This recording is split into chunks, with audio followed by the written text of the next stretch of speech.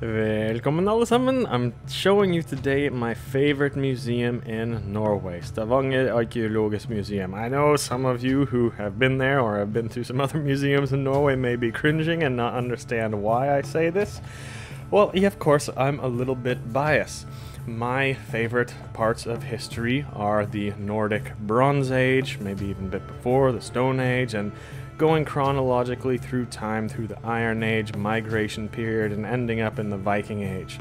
For me personally, I really don't give a damn about any Renaissance era. I don't really care about the late Middle Ages that much. I don't care about foreign, ancient Egypt, Polynesian, whatever, like you might find here in this museum in Oslo. Um, I care mostly about the Nordic Bronze Age to the Viking Age. That's why this museum is my favorite. The only one comparable in Norway might be the uh, Viking Ship Museum in Oslo, but that one has been closed for a couple years and it's still going to be closed for a couple more years, so that's out of the running. This is my favorite museum in Norway, and I'm here to show you why now.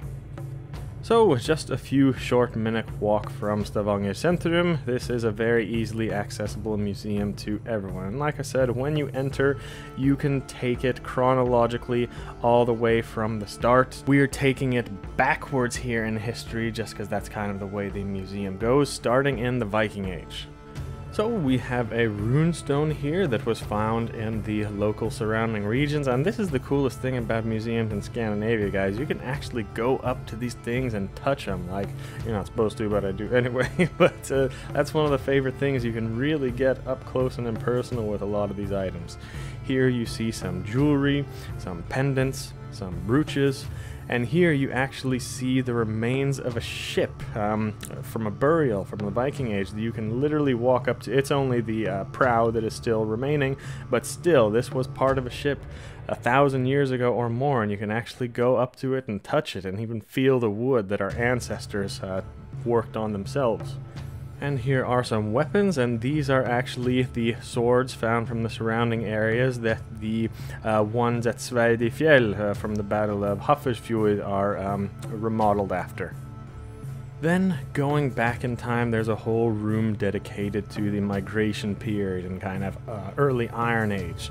Now here we find a bunch of typical things. You'll find the jewelry, some beautiful, beautiful arm rings, and also some weapons.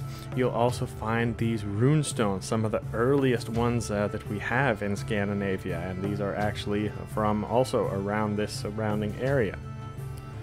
And like I said, this museum goes back chronologically, so the next room over is the earlier Bronze Age. My favorite period, you guys all know this. Look at these things here. I mean, we're talking 1500 years, 2000 years, or even more before the Viking Age, but the kind of technology they had in the Bronze Age is very similar to the Viking Age. Look at these weapons, these beautiful arm rings these different types of jewelry things. There really is not that much difference, and I'm a big believer in that the Bronze Age civilizations were more advanced than anything else, really, because they had the kind of perfect uh, uh, quality of life at that time. See my videos that I did on the Bronze Age. And how can we forget the bronze lurs, my favorite, favorite instrument of all time? And like I said, all of these things were found in the surrounding areas. We also have here a runestone. It's not really a runestone, there's not runes carved in it. Um, this is the Bronze Age. This is long before any writing system existed in Scandinavia, but I still like to call it a runestone because you can see here, even though there's no runes on it, it's the exact same kind of style uh, that you would find from a runestone in the Viking Age. As we leave this room, you'll also see a woman that comes by here uh, from time and time again, and she basically reconstructs a kind of sun dance worship um, to the Bronze Age sun cult, something like that. Very interesting, I didn't miss that, too bad for me. that looks like quite a spectacle. Then going back even further, we have finds from the Stone Age. These are pretty uh, basic and primitive. There's weapons and tools, things like that. This is where we really see a huge jump in technology and development of people. And it's why I always say the Bronze Age was the best time to live in history because they had the uh, good enough technology to make life comfortable as it was for the next couple thousand years after that, but they were still connected to nature and living one with the earth and things like that, like they have done in the Stone Age and in hunter gatherer societies many thousands of years before, too.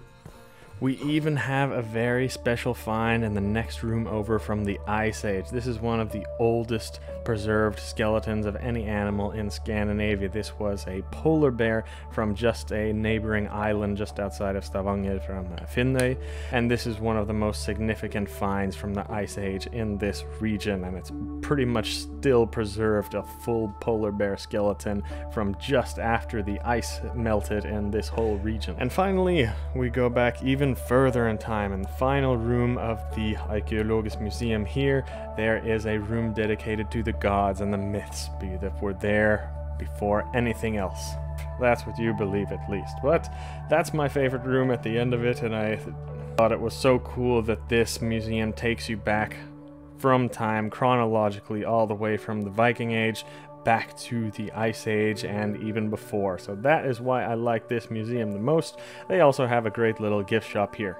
So that's all for today. This is just one of many, many historical things to check out in Stavanger. And it's one of the reasons that Stavanger and Rogaland area is my favorite place to visit uh, for historical kind of tourism. There is just so much in this region to uh, see and discover throughout uh, many thousands of years of history. So definitely check this out if you are in the area, but that's all for today. Vi ses neste gang.